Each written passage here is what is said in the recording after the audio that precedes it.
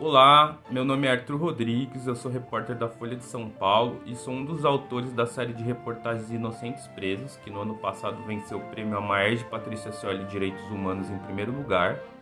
É, eu estou fazendo esse vídeo para convidar vocês para se inscreverem no prêmio. As inscrições estão abertas até o dia 10 de agosto. É super fácil de se inscrever e é uma iniciativa muito importante porque estimula esse tipo de reportagem no momento que o assunto passa por graves retrocessos no país, então eu super aconselho, vão lá no site, se inscrevam.